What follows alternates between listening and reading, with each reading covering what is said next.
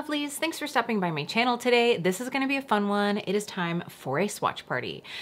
I'm finally getting around to swatching all of my Terra Moon shades. Well, actually, I guess I should say a few of these I'm really quick to the game on swatching for you and the rest of them I'm really late to the game. So here we are, we've got about a dozen and a half of these babies to go. So the story is that I bought a lot on Black Friday and just kept waiting for the special moment to give these their time to shine and it just got away from me. And then when Terra Moons was doing their new launch, I was like, okay, well, I'm gonna be getting a few of these shades, so I might as well just wait until the new new come in, and that's exactly what I did. Now, if we haven't met before, my name is Kelly, and I'm a professional hair and makeup artist, and here on my channel, I strive to keep beauty real. Real honest, real relatable, and real fun, so if that sounds like something you'd enjoy, don't forget to click subscribe and hit that notification bell so you don't miss out on future videos, like future swatch parties. I have one coming soon. I'm not quite sure if I'm gonna do that as a live or as a pre-filmed, but it's coming down the way. So here we are. We, again, do have a few of the new shades, which I've been talking to a few of my creator friends, and we were all so excited because Terra Moons had said that this pre-order was going to be estimated to be shipped out around May 9th, and we're all like getting our packages. That's the way we like it. Send out our pretties early. and that's exactly what they did. So we're gonna be going through these and I'm gonna be going through my Black Friday list, like I said. And a few of these shades I was inspired to dig out some comparisons, some from Terra Moon, some from other companies. So that's gonna be what we're getting into. Now, this is just going to be a very cash swatch party. I'm here in my tie-dye sweatshirt. So mostly the focus is on the swatches of these. I am gonna do a look, which is why I'm completely naked-eyed right now. I'm naked-faced in the swatches, so enjoy that moment if you can actually see my face in those. I tried to get like really good up close back of the hand swatches for you to really see these. I'm trying to up my game here, people. I'm trying. This is also, speaking of upping my game, This is the first time I'm using my mic boom. I realized in a recent video, I think it was my Nomad Cosmetics video, uh, my air register is like over right by where the camera is. And so sometimes the microphone was picking that up if you think that I'm like by a white noise machine. That's not it. It's just air blowing out of the register. So I got a boom and I'm hoping that it works right now. I'm hoping I'm, I'm not like blasting you out right now. I'm hoping you can hear me. I guess I'll be finding out. So I'm trying to bring you the best videos I can. If you appreciate the effort, don't forget to give this video a like. But we're gonna get into the swatches and then I am gonna do a look for you. So without any further ado, please enjoy. All right, here we have Galactic Blossom. This is by far one of the ones that I know that I'll probably get a ton of use out of and I'm very excited to use just because I feel like this is a shade you could do with a lot of looks. It's like a beautiful shifty shade, but in, I don't know, like in an unintimidating way. So if you aren't, you know, really a huge multi-chrome wearer, you don't want like all the colors of the rainbow, I think this one could still be very pretty. It has a very pink to green to peachy shift.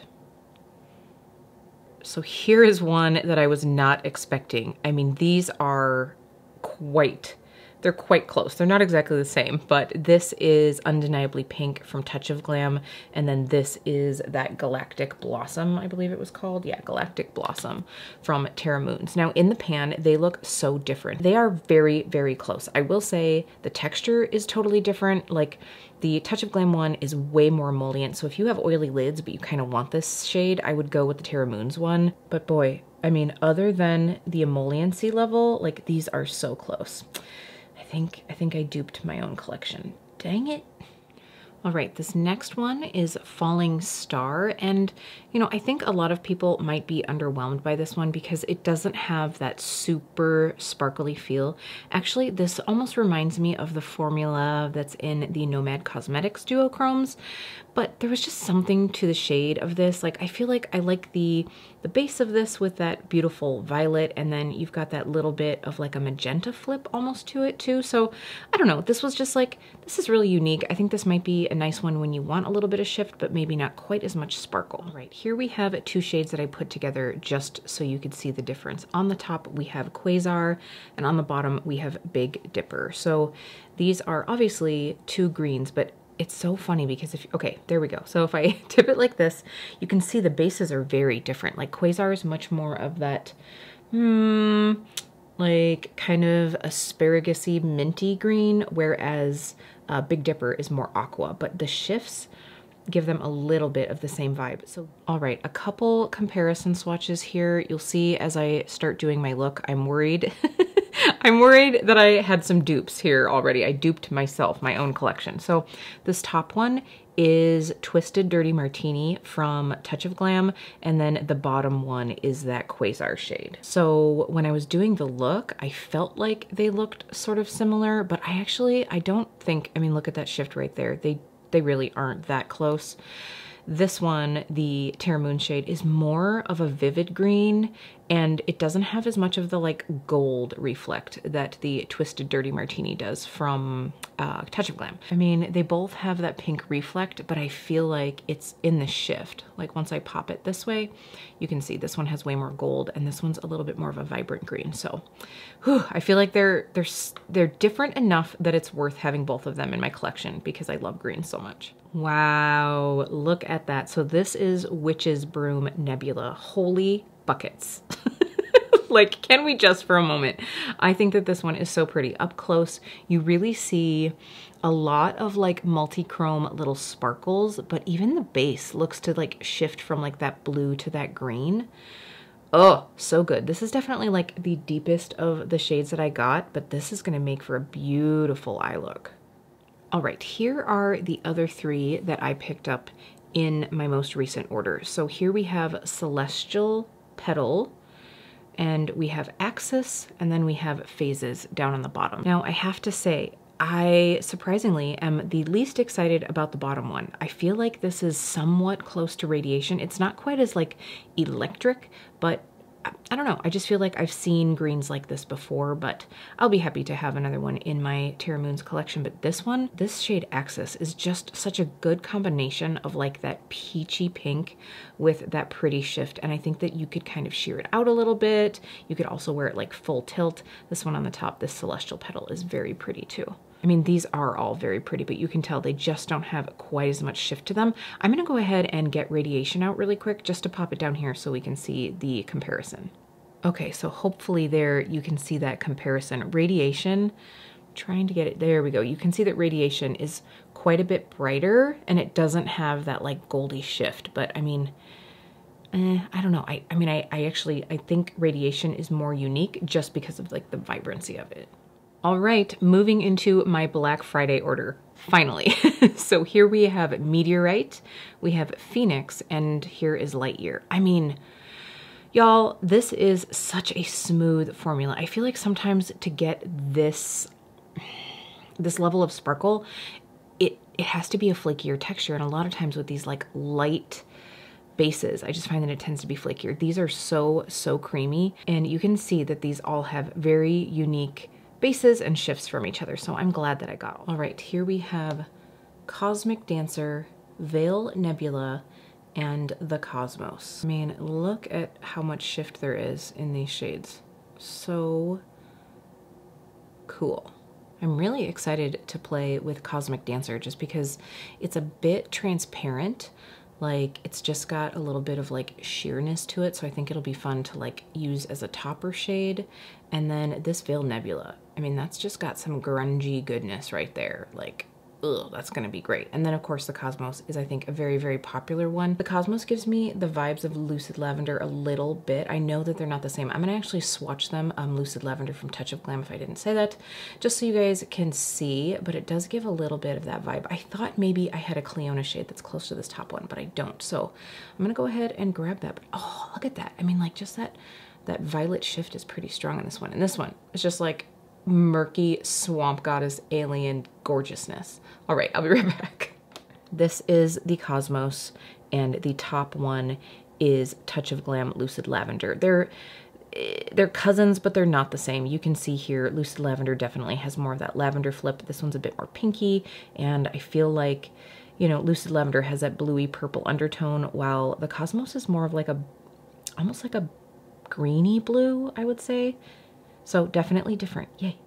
All right, here we have a fun group. We have Chasing Comets, Multiverse, and Celestial. So I have a gap here because I want to swatch uh, Lucid Lavender again because I think they might be kind of close, kind of like another another cousin pair. But this is very pretty. You can see this nice shift. I feel like I see like the violet, a blue, and then almost like a like a greeny gold. You see that right there? so hard to describe these sometimes. then we have Multiverse, and this was by far the flakiest of what I'm going to be swatching for you today. It definitely is like a semi-flaky shade. It's also, it feels a little bit gritty when you swatch it. It's it feels like a hollow shade. Does that make sense? Like, like it has like micro glitter in it, but it doesn't. It's it just has a little more texture. And then this celestial shade, uh, there's just something about this one. It's not super shifty. It is a bit of a duochrome. You can probably see like right here. We have that kind of like a little bit of like pinky purple shift. So I don't necessarily think that the shift on this one is unique, but look at that. When it's like straight on, that color is it's what I always refer to as power blue. It's like power blue mixed with like the deepest version of periwinkle, in my opinion. So these are very pretty. I'm gonna go ahead and grab Lucid Lavender one more time so we can swatch it next to Chasing Comets. Okay, here you can see they're not the same. Uh, they have a little bit of the same reflect, like they both have that purpley shift right there, but the bases are totally different. You can see that the base of Chasing Comets is more purple, whereas Lucid Lavender is almost like that that blue gray violet, if that makes any sense. So not the same, which makes this girl happy. All right, apologies for the staining. I just tried to wash my hands like twice and it just would not come off, but we have two more here. Uh, you can see I've spaced them out because I want to put some comparisons up. So we have Palladium right here, and then we have Space Drifter. So Palladium is obviously that very molten rose gold. When Terra Moons launched those, I believe it was four, it was either three or four metallic shades. I was like, okay, these are so pretty, but I really, I really just need the rose gold one. That's gonna be the one that I use the most. Uh, of course, everybody kind of wants to know how the Moonscapes collection from Devinah differs, so I'm gonna swatch the ones that are similar. And then this Space Drifter shade, is one of those like red to sort of black, but it's not, it's not black black. It's almost like a brown black. So I'm going to take uh, Midnight Sun from Devinah and swatch it next to this one. All right, so here we have some comparisons. So here is Pink Flare from the Moonscapes collection, and this one is Fire Hunt. So honestly, neither of these is a complete dupe, uh, not even just like color-wise.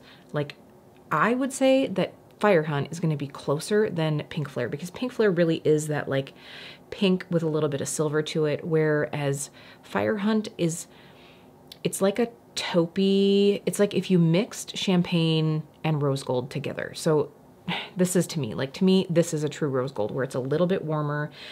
It's like a mix between rose and copper, if that makes any sense. I'm I'm just a freak like that. I am really picky about rose gold. These are both pretty, but they're not the same color. They're also much, much more textured. These definitely have a little bit of a flaky feel to them. You can, you know, get them to be a little bit more molten by mixing them with a mixing medium, dampening your brush, all of that.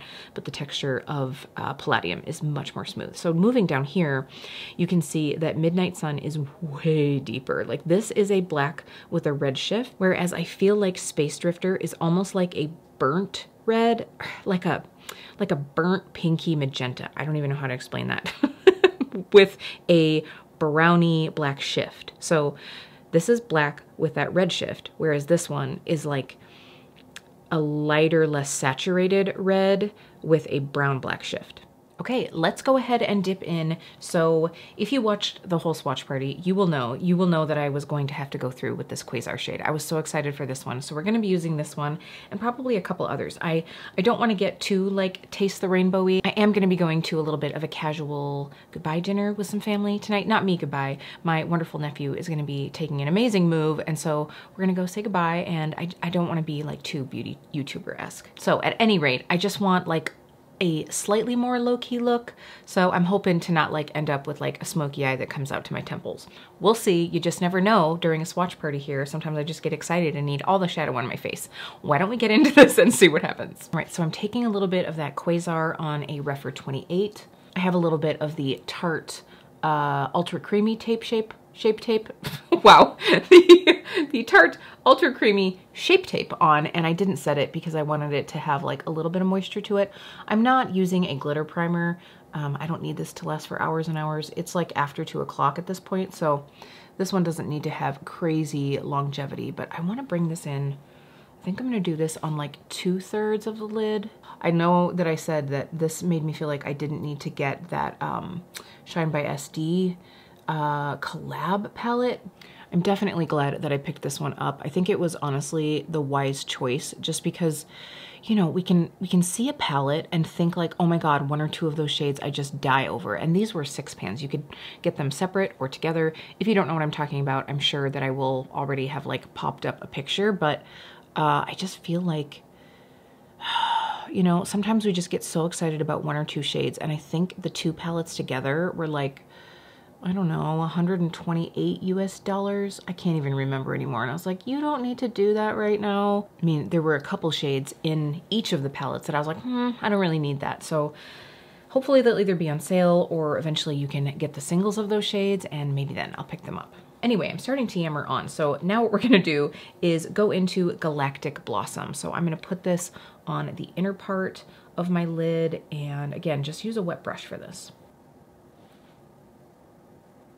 I thought that these would be a really good combination together because this one has that like pink to green to peach. So I think like layering them up together too is gonna be a lot of fun. I do have to say though, this shade is doing that thing that I, I keep talking about it. But it's like, if you use something that has a little bit of like a lighter base, or even sometimes like more of like a, a golden shimmer, it starts to get that like kind of concealery, milky look. If it's like damp, I think if I were to use this one again in the future, I would either really try to just use a glitter primer and not wet my brush much, just because I don't, I don't want it to have that like concealery feel. Can you guys even see what I'm talking about? It just gets like a little milky. I don't love that. Okay, I am very carefully and very delicately, now that this side has dried, I'm going to just tap a little bit of this shade over the top to try to like, mm, I don't know. I don't know. I'm not quite sure what my goal is there, but I would say trying to cover up the milkiness, but I don't, I don't think that's possible. This shift though is very pretty. All right, I'm gonna just try to go in with a pencil brush and just buff that out a little bit to soften that. Now I do have to say, uh, even like just now trying to use that shade dry, uh, I didn't get any fallout. Now granted, I'm very gently tapping, but there is just something to Terra Moons. I mean, you can get some really beautiful shifty shades and there just isn't quite as much fallout because they are really creamy. I'm just gonna take my finger with a little bit of this, like right where those two colors meet.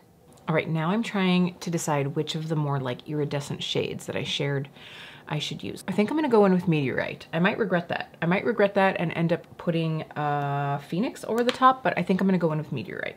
So this I'm just going to tap and press in on a dry brush. I probably should have gone through and done my mattes first because I have a feeling when I do a matte, I'm gonna end up buffing some of this away, but oh well. I think what I'm going to do, surprisingly, I was gonna pull out my blends palette from Blend Bunny, but I think I'm actually gonna pull out Surge. I'll probably just use like this dusty green. We have a little bit of like a peach and a pink that I could mix together. So I'm just gonna use those shades to just give a little bit of shape, a little bit more of like a wash. I'm gonna start out with like a bigger fluffy brush. This is the Wayne Goss 17.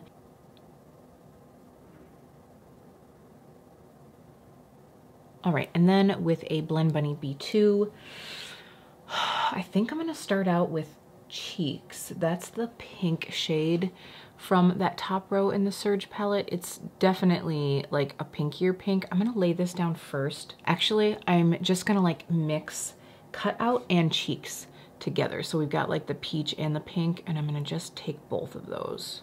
It's not exactly the same, but it's definitely made me realize that I need to go back through and do some comparison swatches of the shades that I purchased from Touch of Glam. I'm going to go ahead and take Axis and pop that on my lower lash line for a little bit of a shimma shimma. This one I am doing on a wet brush though because I feel like I'm gonna get a decent bit of fallout if I don't.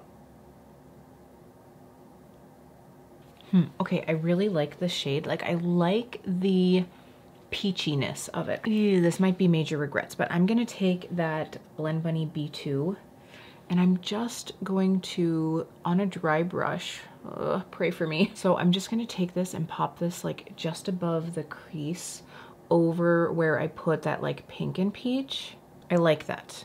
Uh, I definitely am going to have to do something on my lower lash line though, like maybe like a deep green because the peach on my lower lash line is giving me like mm, very tired, very irritated eye vibes. I'm fine, but like I just feel like that color, I just need some separation between that color and my eyeball. So I think I'm gonna do that. I'm gonna go rectify that like under eye situation with a liner, uh, go ahead and throw on some mascara. I'm also going to swatch those other Touch of Glam shades oh, I think I might have gotten some like close to dupes. Dang it. See, this is why, this is why you are supposed to pull out your things and play with them right away so that you know what you have. You will have already gotten to see those comparisons, but uh, I'm gonna go finish this up. I'll be right back.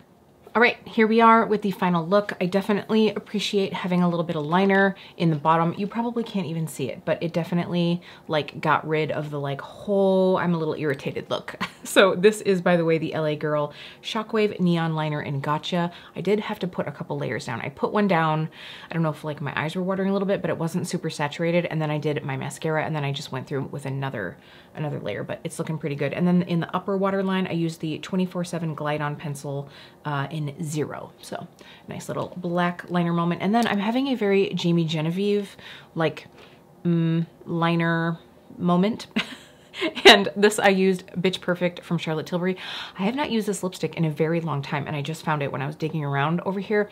I have to say, I think my lips are a little dry to be using this one right now, not because this is drying, but mm, it just like, it emphasizes the lines just a little bit in my lips, but I don't even care. I don't even care. I just thought it would look pretty. And then I did go back through and use the sepia or sepia liner from Wayne Goss. Uh, yeah, I think it's a good combination. I really like it. I don't know, this is a little bit of like a 90s supermodel contour. Very, like I said, very Jamie Genevieve. I'm really liking this one.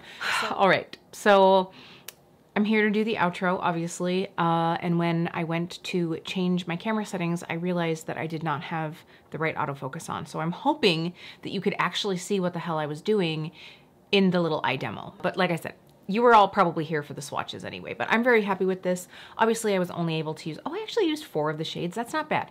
That's not bad, keeping it a little bit of a softer look. I really like this. Like I said, Terra Moon's formulas, they're definitely in my top two indie single eyeshadows, yeah. And if you did enjoy this video, please don't forget to give it a like on your way out. It really does just help YouTube know that they should be showing my video to more people, and I would really appreciate that. And again, if you're not already subscribed, don't forget to do so so you can catch future swatch parties. Thank you so much. It really does mean so much to me that you take some time out of your day to spend it with me. I will see you really soon.